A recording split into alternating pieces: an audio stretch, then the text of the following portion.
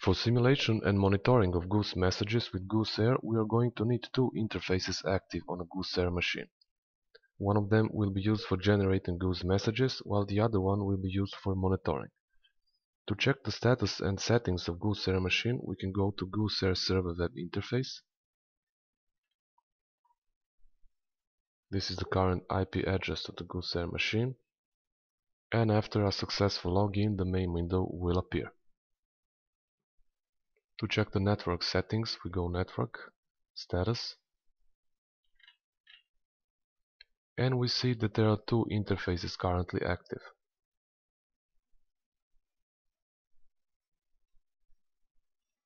These are all IP addresses which are available for use.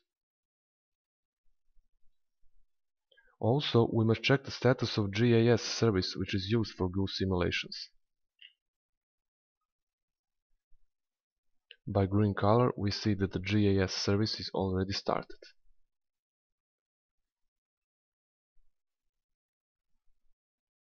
Now we can go back to software and start a new project. There are two types of gooseAir simulation which are offered by gooseAir. One is simulation using the imported SCL file and the other one is fully customized which means we do not even need an SCL file to simulate Goose messages. For now I'm going to show simulation using an SCL file. So I go import. I will use the GICD file.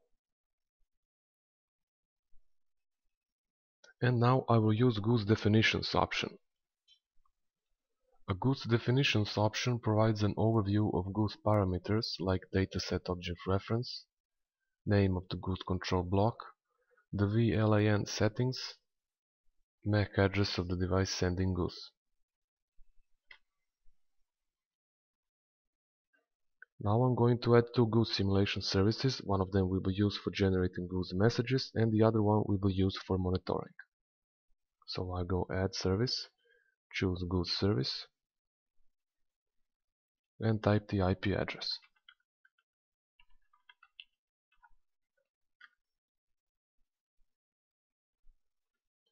Now I will briefly go back to gooseAir server web interface just to show which interface I am actually using now.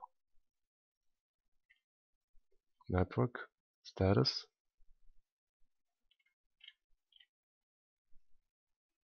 This is the IP address I assigned to Goose service a moment ago.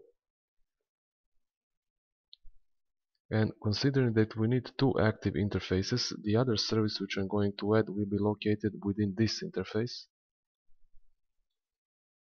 and using this IP address.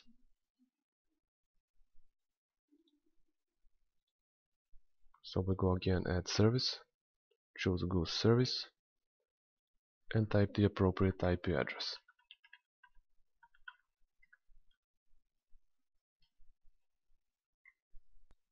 Now that we added two Goose services, we can open the simulation window, right click, choose simulated goose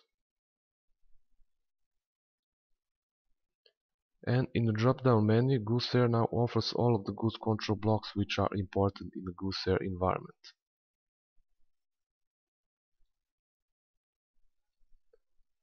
Here we can choose a sending policy of Goose messages.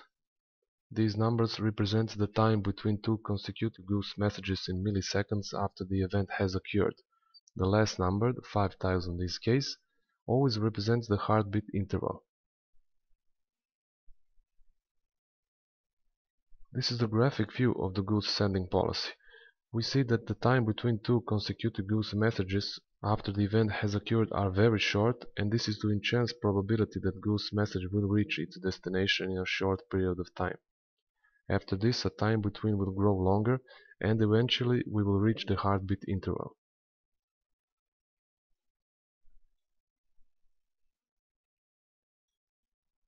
You can also choose a custom retransmission settings, but for now we will use the default sending policy.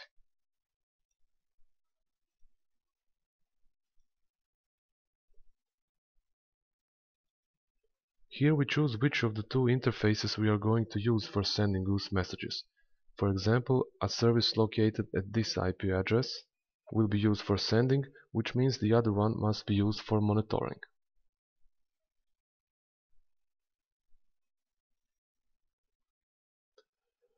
To set up monitoring settings, we go Monitor, Goose Monitor,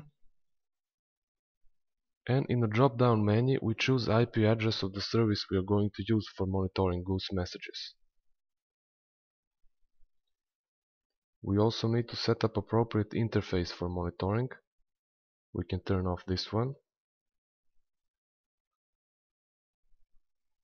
and choose interface which corresponds to this IP address.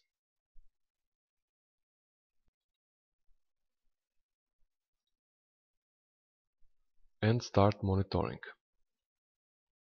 Now in the simulation window we can start the simulation by activating the green run button. The simulation is now activated and we can monitor it in Goose Monitor window. We see that simulation starts like the event has occurred and then it continues retransmissioning in stable conditions.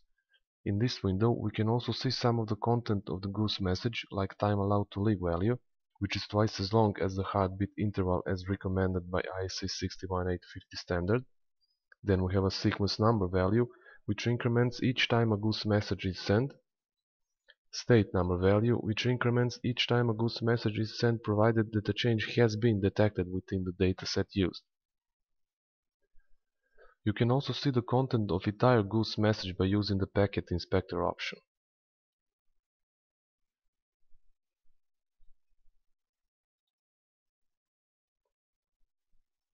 Now I'm going to change some data attribute within the dataset used in goose messaging and see what happens. We can approach the dataset using the simulation window and now the dataset window will appear.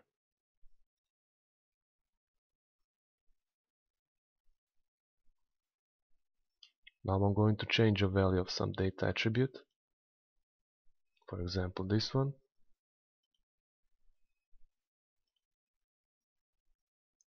And we see that retransmissioning of goose messages has changed because of the event that has occurred also we can see that state number value is changed. Thank you for your attention.